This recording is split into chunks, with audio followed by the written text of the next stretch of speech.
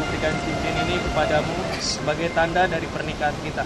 Dengan aku akan menghormatimu. Seluruh hidupku berikan kepadamu. Dan semua yang kumiliki akan kuberikan bersamamu di dalam kasih Tuhan. Amin.